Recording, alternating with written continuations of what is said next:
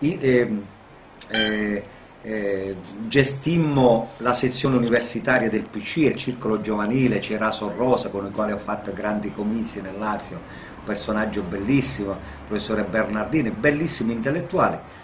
Qui io ah, eh, ho avuto l'onore di conoscere un mio amico eterno che si chiama Massimo Ademeo, che è sempre legato al mio fianco, che leggemmo al consiglio di amministrazione come sinistra ed era, era l'altro giovane leader di questa sinistra democratica e lì Antonio facemmo una cosa, che per sconfiggere le Brigate Rosse gli autonomi di Via dei Volsci ci inventammo le leghe dei disoccupati CGL Cisluil, un movimento di massa voluto bene anche da, da, da Lama, da Trentin, che stava passando dalla FIOM, dai metalmeccanici alla Confederazione. Eh, ci inventammo questo, le leghe dei disoccupati CGL Cisluil che esplosero in tutta Italia.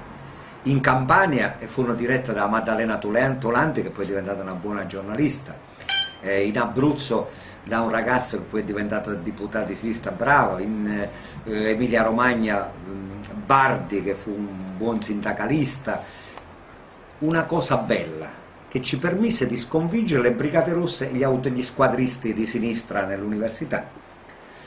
Ci abbiamo sempre combattuto, sempre sul terreno proprio concreto, sul campo di battaglia. Io in quegli anni ho visto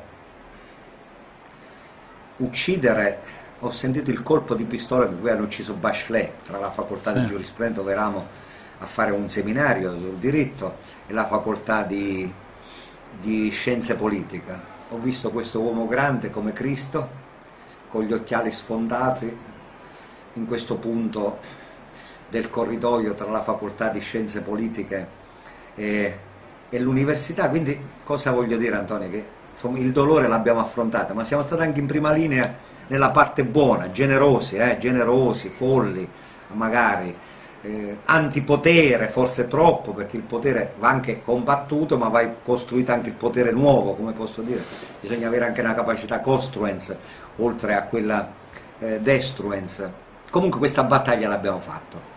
Io mi ricordo che mh, allora era responsabile dell'università, Achille Occhetto scrisse è nato il nuovo, nuovo movimento quando a novembre del eh, 1977 facemmo una manifestazione di 20-30 mila giovani proprio per sconfiggere l'eversione di sinistra eh, in quel caso. Eh, ecco, questo fu un primo movimento nazionale meridionale fu un primo allenamento. Io tornai in qualche modo al sud, come figlio del sud. Cioè i disoccupati stanno ancora oggi al sud, sì, purtroppo. Sì, sì, ma è, è, ecco, dopodiché per la mia vocazione terrena, concreta, non mi ritrovavo bene nei partiti che erano già in crisi, cominciavano ad andare in crisi alla fine degli anni 70, per cui eh, dopo l'esperienza delle leghe dei disoccupati incontrai per puro caso Bruno Trentino, grandissimo sindacalista, è un mio maestro, un papà, che mi disse Peppino tu sei un sindacalista nato, devi diventare sindacalista. Io volevo fare lo studioso, scrivere libri, ricercatore, volevo fare un'altra cosa. E, e mi ritrovai, caro Antonio, così un po' come quadruccio giovane della CGL, eh, nel Dipartimento Lavoro Nazionale, poi eh, nella CGL di Roma, nella, che aveva la sede eh, un po' sotto eh, Santa Maria Maggiore. Eh, io avevo la casa con i miei amici a Piazza Dante dove c'era una comune di giovani famosa a quei tempi, così insomma comunque gioiosa, in cui studiavamo, lottavamo e lavoravamo sempre, sempre queste tre cose, studiare, lottare e lavorare. Lottare, studiare e lavorare. Abbiamo fatto sempre questi tre mestieri belli e pesanti.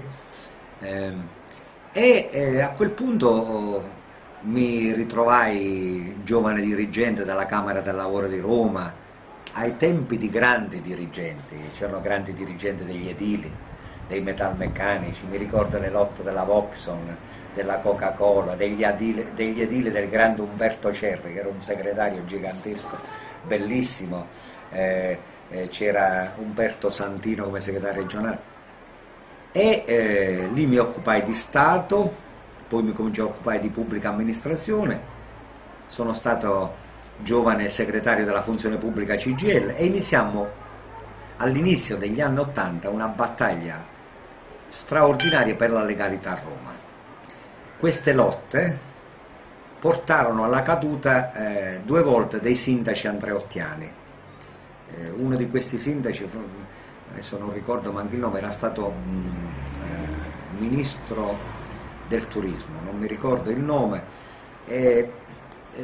Antonio ti dico che... Pedrucci, eh, no? no? No, no, era, no, no, era un altro, un altro era, era, stato um, ministro del turismo, adesso non mi ricordo.